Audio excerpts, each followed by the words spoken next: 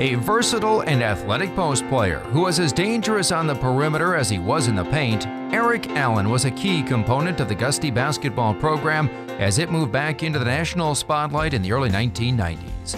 I think he was the first of, uh, of a kind of player that had a flexibility to, to play lots of places on the floor.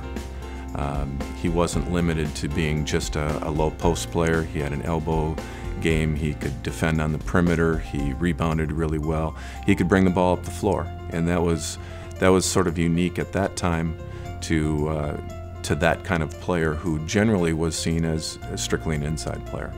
A four-year standout who started all 112 games of his career, Allen graduated as the seventh leading scorer in the program's history with 1,528 points, while also ranking fourth in career field goals with 624 fourth in career field goal percentage at 550, and eighth in career rebounds with 605.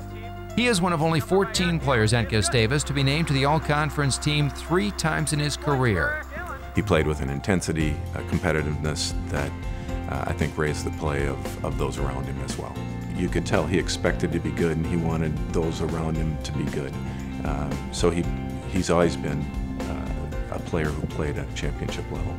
Allen helped the Gusties claim conference titles in 1991 and 1992 and win league playoff titles in 1989 and again in 1992.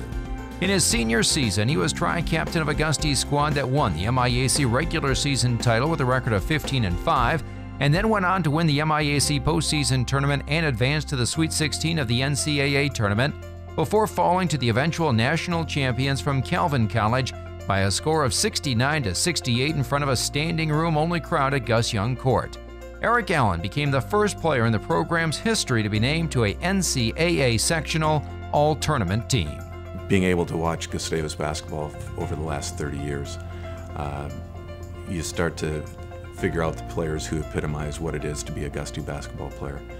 Uh, Erik epitomizes that both on and off the court. He's uh, he was an outstanding player. He's an even better citizen.